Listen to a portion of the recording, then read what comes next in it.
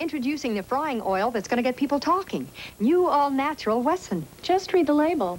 New Wesson's 100% natural. Ever read Crisco's label? They put additives in their oil, but not new all-natural Wesson. With Wesson, I don't get additives. I don't get anything but great tasting fried food. For me and for them. New all-natural Wesson is 100% natural. The other leading vegetable oil isn't.